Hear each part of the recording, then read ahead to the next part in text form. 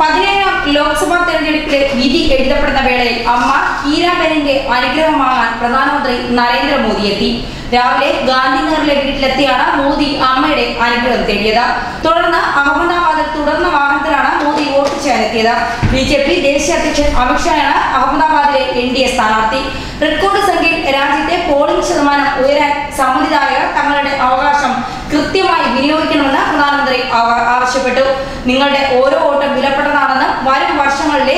രാജ്യത്തിന്റെ ഗതി നിർണയിക്കുന്നത് ആ തീരുമാനമാണെന്നും മോദി ട്വിറ്ററിലൂടെ പ്രതികരിച്ചു. അതേസമയം രാജ്യത്തിന്റെ പ്രധാനമന്ത്രി പദത്തിൽ താൻ ഇരിക്കുന്ന കാലത്തോളം ആരും സംവരണം ഇല്ലാതാക്കില്ലെന്ന് പ്രധാനമന്ത്രി നരേന്ദ്രമോദി പറഞ്ഞിരുന്നു. മഹാരാഷ്ട്രയിൽ തിരഞ്ഞെടുപ്പ് റാലിയിൽ സംസാരിക്കുമ്പോഴായിരുന്നു അദ്ദേഹം ഇത്തരത്തിൽ പറഞ്ഞത്. നരേന്ദ്രമോദി സർക്കാർ സംവരണത്തെ എതിർക്കുകയാണെന്ന നിരന്തര പ്രസ്താവനയോടുള്ള മറുപടി പറയുകയായിരുന്നു അദ്ദേഹം. ഉത്തര മഹാരാഷ്ട്രയിലെ ആദിവാസി മേഖലയിലായിരുന്നു മോദിയുടെ റാലി. മോദി ഇവിടെ ഉള്ളിടത്തോളം ബാബാ സാഹബ് അംബേദ്കർ നമുക്ക് നൽകിയ സംവരണത്തിൽ ആർക്കും തൊടാനാകില്ല. എണ്ണ ഇറക്കുമതിയിൽ നിന്ന് വരുമാനം പറ്റുന്നവരാണ് കോൺഗ്രസിന്റെയും എൻ സി പിയുടെയും നേതാക്കളെന്നും അദ്ദേഹം ആരോപിച്ചു.